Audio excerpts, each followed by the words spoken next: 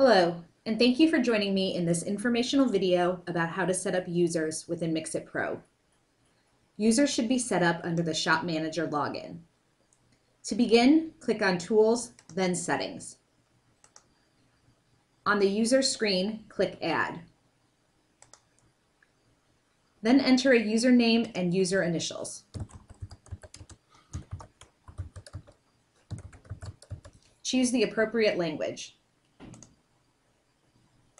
and select how you want the password to be applied. Then set the password and click OK. The next step is to set the default amount, unit of measure, and color mix preferences. This allows the system to be customizable to each painter's preferences. In the new version of Mixit Pro coming soon, there will be a selection for volume estimation, which will be covered in a later video. Now click on Roles so you can give this painter permission to use the various features of Mixit Pro. This area is also very configurable. However, for the purpose of this video, I will explain the default permission settings we suggest. For this, click on all five of the user roles on the left side.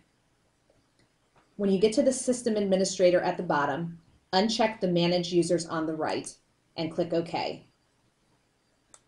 Then click OK again. Thank you for viewing this AkzoNobel production. If you need further assistance with this or if you have any questions, please feel free to contact our tech line at 1-800-618-1010. That was 1-800-618-1010. Thank you.